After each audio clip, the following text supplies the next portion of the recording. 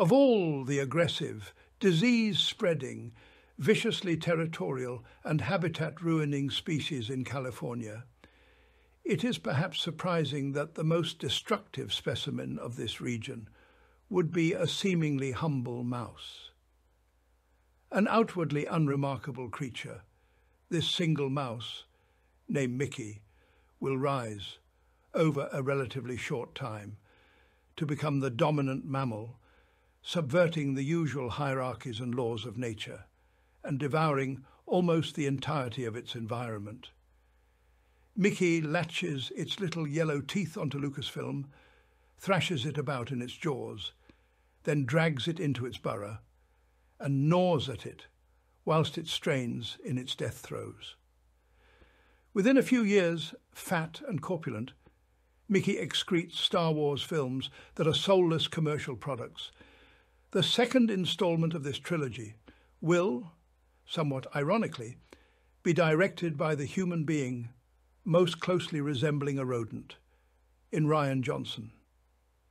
Alas, the rapacious and predatory Mickey is not satisfied with gorging itself on the carcass of Star Wars, and seeks to quell its appetite by exploiting the beloved Marvel studios.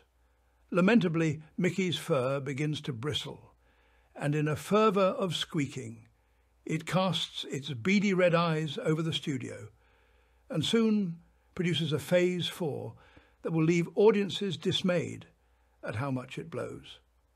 Fiercely protecting its territory, Mickey feeds blindly on the entrails of the property, heedless in its feeding frenzy of the incredulity meeting such bullshit as Loki and Moon Knight.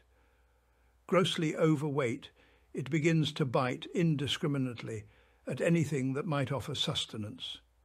Pixar Studios once the darling of the entertainment industry, is chewed at relentlessly. Its magic giving way to bland and insipid identity politics with disproportionate homosexual themes. By now, as a specimen of mouse, Mickey is ghastly to behold. Bloated, with mangy, patched, lice-ridden fur, transmitting disease through its rabid saliva, it excretes drastically awful content the Mandalorian descends into farce, with a cynically exploitative marketing construct in Baby Yoda, intensely narrow scope of storytelling and general sense that it sucks balls. The Book of Boba Fett induces moments of toe-curling cringe-worthiness and doesn't just suck balls, but alas, sucks post-gym sweaty balls, and Kenobi sucks retch-inducing vinegary homeless person balls. Following on from this saliva-slicked mouth to scrotum slurping, Ahsoka is crammed full of girl bosses who slay, and like most of the Disney Star Wars world, the male writers are pussies, and the women dull and prickly, with no boyfriends, driven by agendas, and the message. message. Having deposited its droppings everywhere, and scuttled into every crevice of Hollywood, Mickey flings together a cynical succession of live-action remakes, produces a critically panned Pinocchio, and lame as shit Ant-Man. After this bomb is the dumpster fire of Willow, which features a pair of medieval scissor sisters and is consigned to the oblivion of Disney+. Plus. Peter Pan features Wendy punching Peter and knocking him out like a bitch, a Little Mermaid remake with a divisive lead, and a musical number that almost induces an unflappable British institution such as myself to go on a gun-toting rampage, then turn the smoking weapon upon myself.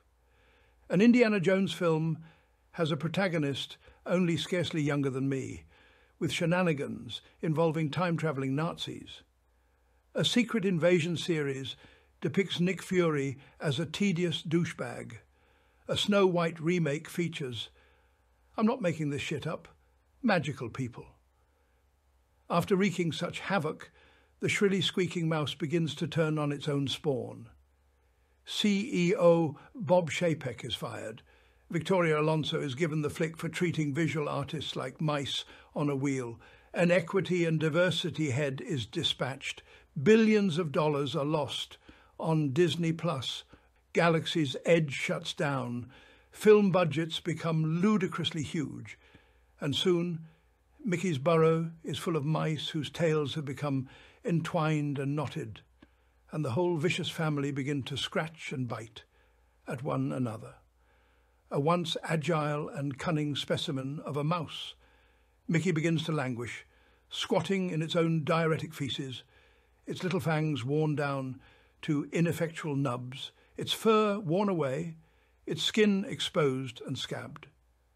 Disease ridden, no longer able to forage, it begins to gnaw away at its own distended flesh, consuming itself, gorging on its own sagged and sprawling bulk, chewing on its plump tail and squealing as it brings about its own hideous demise.